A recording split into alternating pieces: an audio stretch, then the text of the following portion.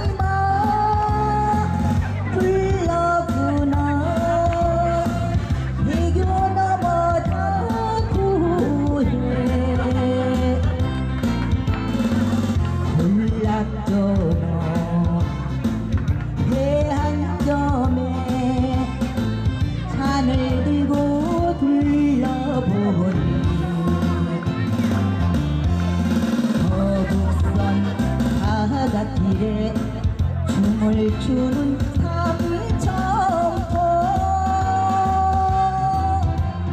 누가 그린 그림이냐고 저녁달이 묻고 있네. 옥벽 같은 비포섬에서 옛 노래를